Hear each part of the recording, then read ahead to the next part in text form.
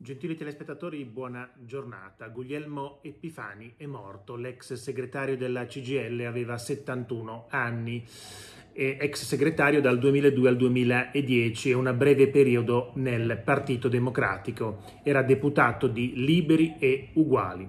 Il ricordo di Landini ha dedicato la vita al sindacato. Letta dice notizia drammatica, Bertinotti dice si impoverisce la vita pubblica italiana. Quindi addio ad Ettore Guglielmo Epifani, morto a 71 anni, nato a Roma da genitori campani, l'ex segretario generale della CGL dal 2002 al 2010, dall'11 maggio al 15 dicembre 2013 fu segretario del Partito Democratico, partito che aveva lasciato nel 2017, dal 2018 era deputato di Liberi e Uguali. Secondo quanto trapela da ambienti parlamentari era stato colpito da un'embolia polmonare circa una settimana fa.